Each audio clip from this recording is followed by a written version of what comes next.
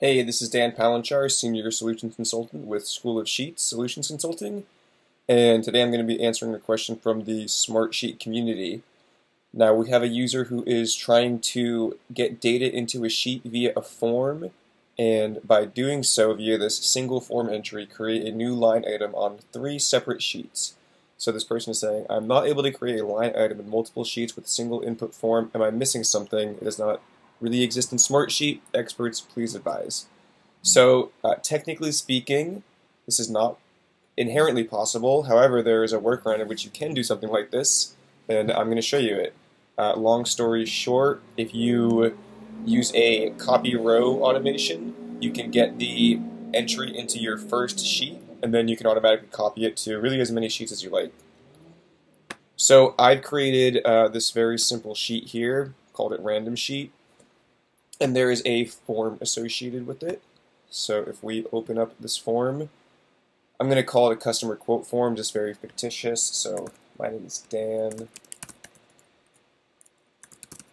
Somebody would be filling out this form to go into your sheet.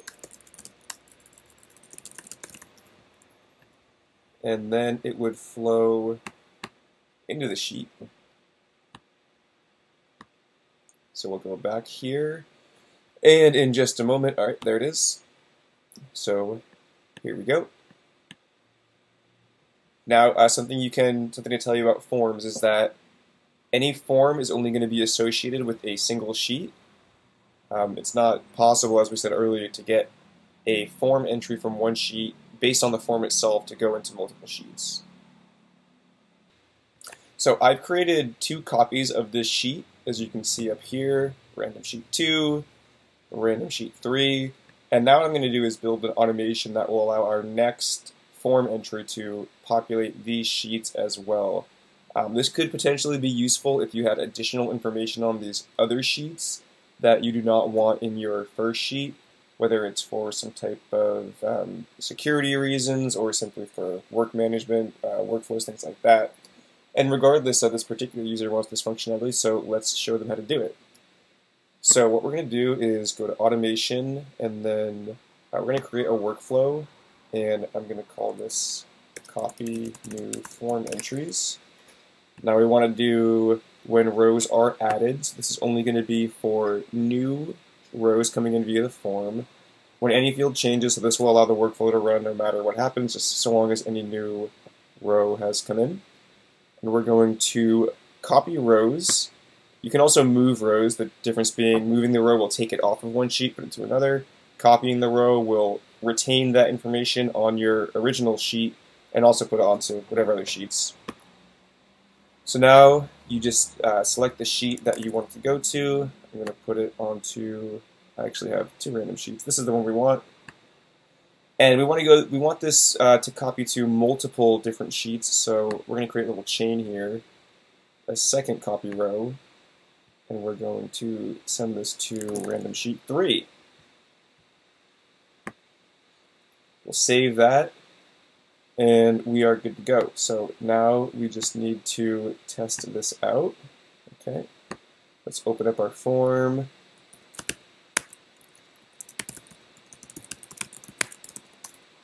I would like some work done, please. Let's submit this via the form. Good. New data coming in, new lead, something every business loves. All right, here is Joe's entry. And let's see what happens over here. Looking at random sheet 2, we can see Joe's entry has come in here. And on random sheet 3, Joe's entry has come in here as well. So perfect. Uh, that's exactly the functionality we want. Something else to know is that the way this automation is built, um, technically, if somebody was to come in here and type some gibberish type of, you know, some type of error into the sheet, this is still going to copy as well to the other sheets because it's a new row. So if we come over to random sheet 2, it'll maybe take a second. There we go. So this comes over here. So this might be something that you want to protect against. So I'm going to show you a way to do that. First, let's delete, if I can get around my recording controls. Let's delete this erroneous row. Oh, wait. From our three sheets. And let's come back here and put together a mechanism to kind of protect. So we want to only get form entries to come in. So I'm going to make a checkbox column called form entry. I'm going to lock this and I'm going to hide it. And now I'm going to go into the form and I'm going to add this as a hidden field and I'm going to automatically check it. So what's going to happen here is since it's a um, hidden field with a default check value, any form entry will come in with that box checked. Now if we go to our automation, we can add a filter where the form entry box has to be checked.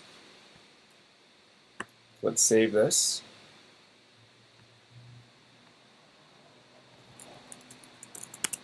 So if you come in here, or if somebody comes in here, say, and puts uh, some erroneous data, whatnot, this is not going to be checked because you know it's a locked column. You might have noticed I did lock the column, so only an admin level user would be able to um, go in and check this box.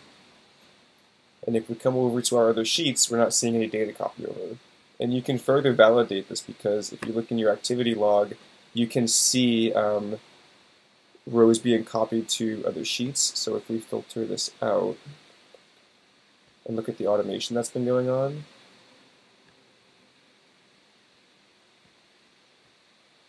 rather, not the automation, the uh, row changes. Um, so the last row is copied at 145, that was, you know, 148, and notice that it's after row insertions, be a form user. I've inserted this row up here, and there's no uh, row being copied over. However, if we go and enter this via the form,